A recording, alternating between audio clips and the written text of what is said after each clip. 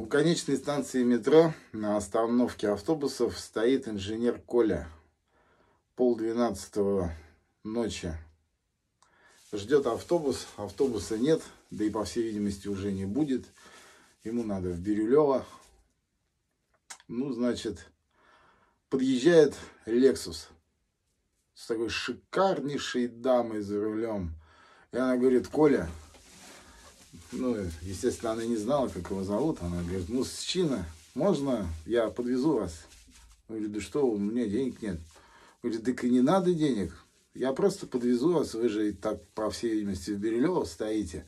Автобуса, скорее всего, уже не будет. Поедемте, а то замерзнете тут. Он, хорошо, прыгает назад, они едут.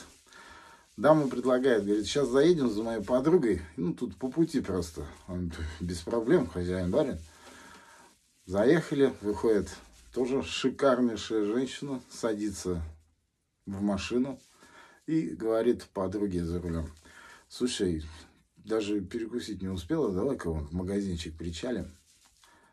Остановились в магазине, барышни зашли, набрали еды, шампанское, там все в фирменных коробочках, ведерко икры черной, ну, в общем, все шикарно. Высаживают в Бирюлево мужика, а одна другой говорит, слушай, может мы не будем тут крошить в машине, давай поднимемся вон, к мужику, перекусим, да дальше попрям. Он говорит, ну, вы не против?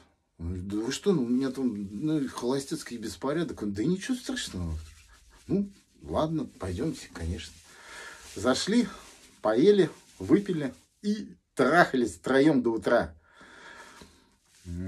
Через неделю те же дамы на светском рауте, где-то в доме кино, ходят и мечтательно одна другой говорит, слушай, как надоели все эти вот светские вечеринки, эти вот Михалков со своими проститутками, этот старый мачо Гусман, и вообще все эти заслуженные пидоры России. А как бы сейчас закатиться к Кольке в Бирюлево?